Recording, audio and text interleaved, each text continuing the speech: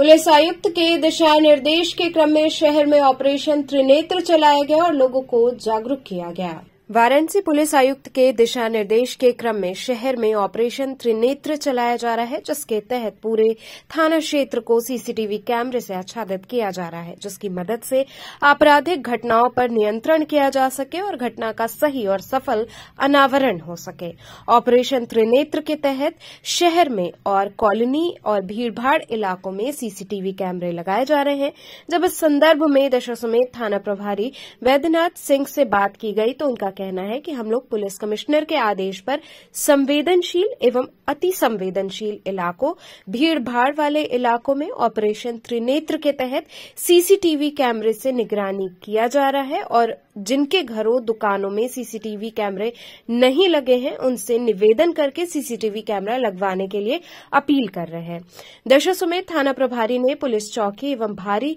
सुरक्षा बल के साथ मीरघाट, विशालाक्षी मंदिर एवं दशा समेत क्षेत्र के अंतर्गत अभियान चलाकर लोगों को जागरूक किया और विभिन्न स्थानों पर कैमरे भी लगवाए, क्योंकि सीसीटीवी कैमरे लग जाने से आपराधिक घटनाओं को काफ़ी हद तक रोका जा सकता है।